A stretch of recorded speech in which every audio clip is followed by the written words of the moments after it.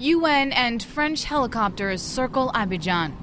According to Ivorian state television, French forces are preparing for a Rwandan style genocide.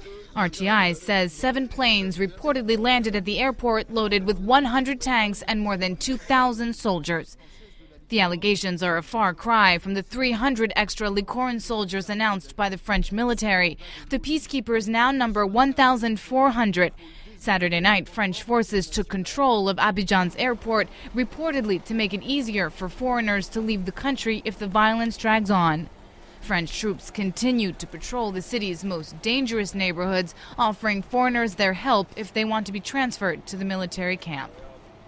Meanwhile, most Abidjan residents stayed home for the fourth straight day, but the streets were calm Sunday as forces loyal to internationally recognized Ivorian President Alassane Ouattara announced they were gearing for a final showdown. They've already taken close to 80% of the country. However, incumbent President Laurent Gbagbo promises to put up a fight, calling civilians to form a human shield around his office and home.